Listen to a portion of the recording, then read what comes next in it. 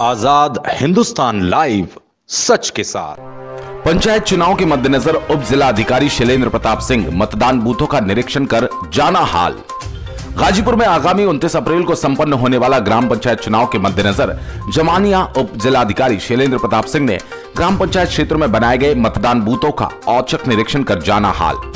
गुरुवार को ग्राम पंचायत चुनाव को लेकर तथा शासन के दिशा निर्देशों का पालन किया जा सके एवं मतदान बूथों पर असुविधा दूर कराई जाए। उसी उद्देश्य को लेकर आगामी त्रिस्तरीय ग्राम पंचायत चुनाव के मद्देनजर उप जिला अधिकारी शैलेंद्र प्रताप सिंह, प्राथमिक विद्यालय तिवारीपुर, प्राथमिक विद्यालय बेटावर, प्राथमिक विद्यालय फहीरपुर, प्राथमिक विद्यालय महेव तथा प्राथमिक विद्यालय ढढ़नी, सरेला आदि मतदान बूथों की तैयारियों की समीक्षा की तथा संबंधितों को आवश्यक दिशा निर्देश दिए गए।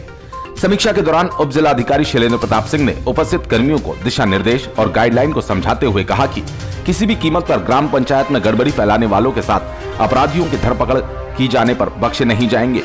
पंचायत चुनाव से पहले छोटी बड़ी असुविधा को दूर कराने, मतदाताओं को सुविधा मुहैया कराने के लिए तैयारी जारी है, ताकि किसी भी मतदाता को अपना मतदान करने में कोई दिक्कत ना हो। इस अवसर पर तहसीलदार घनश्याम के अलावा राजस्व टीम उपस्थित रही। सलीम मंसूरी, ब्यूरो चीफ, गाजीपुर की रिपोर्ट।